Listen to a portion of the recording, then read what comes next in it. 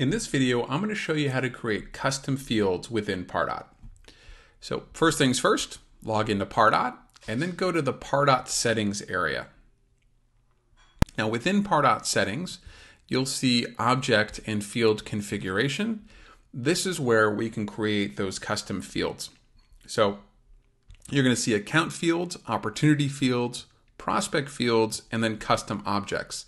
Now, custom objects is an add-on feature, so there's most editions will not have access to custom uh, objects by default. Uh, but if you have that functionality, you can set up the mapping of custom objects in all related fields uh, through that particular tab.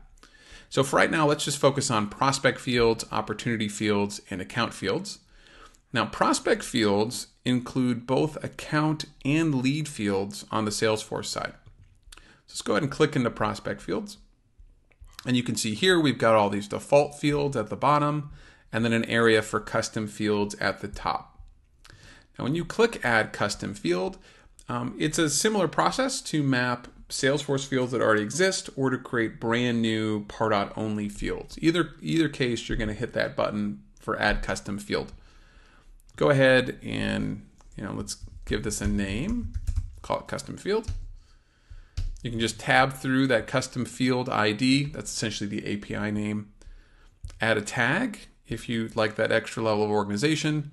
And then you can set up the type down here. Now these two options in the middle, salesforce.com field name and sync behavior, they're only relevant if you're mapping an existing field from Salesforce into Pardot.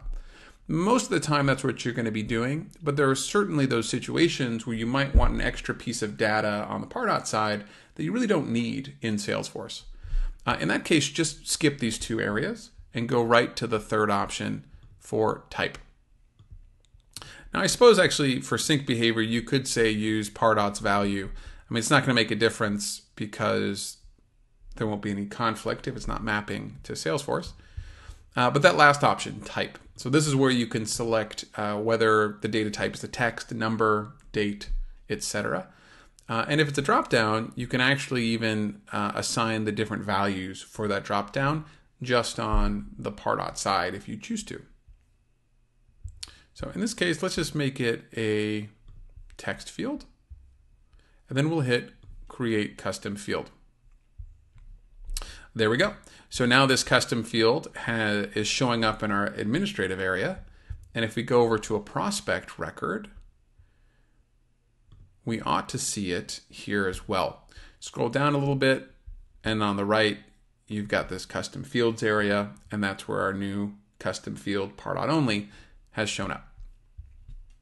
Same process for accounts and opportunities. Just click into that area, account fields or opportunity fields, hit the blue button, and then add the settings for that new, new field. Uh, I hope that helps, and I'll see you in the next video. Thanks.